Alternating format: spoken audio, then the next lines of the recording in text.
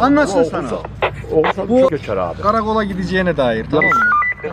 151 promil alkollü olduğuna dair. İnanmıyorum sana. Bir daha ölçebilir miyim? Ver hemşerim.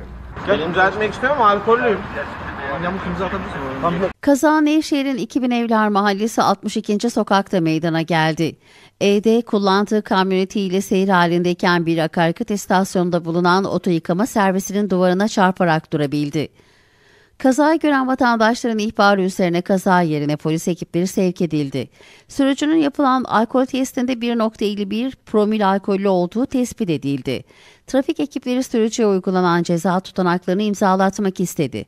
Önce alkollü olduğuna inanmayan sürücü, inanmıyorum komiserim bir daha ölçebilir miyiz diyerek tekrar ölçüm yapılmasını istedi.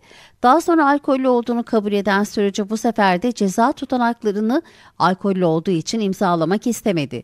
Sürücüye ikinci kez alkol araç kullanmaktan ve sürücü belgesini ibraz etmemekten toplam 8075 lira para cezası uygulanırken kamyonet de trafikten men edildi.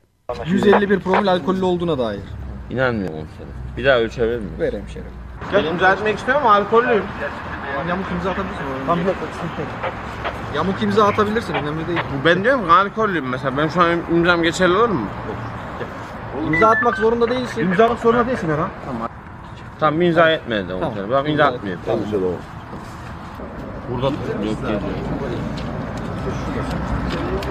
İnan burada topluyor.